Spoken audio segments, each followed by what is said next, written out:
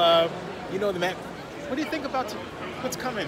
You ready? Oh yeah, definitely ready. It's been a long time coming. I mean, the whole the whole season was basically a build up for this. The advertisement's been crazy. The Pioneer documentary came out yesterday, so I mean, just the build up for it is like it's go time. We're ready to go. I'm so what you amped. think of uh, outside there? It's a lot of fun. I mean, I Yeah. love being around that that atmosphere. I mean, fans that love rugby, you know. Yeah. So I, I enjoy it. I enjoy every every minute of it. It's a lot of fun. Are you getting tired of hearing about the All Blacks though? Ah, nah, because I, I don't hear about it. Yeah, know? there you go. Uh, You, you hear go. about it, There you you know, go. when, when the 15 season's on and things like that. But Yeah. not really, not anymore. It's like every team is a great team now, you know, Yeah, and true. every team's winning.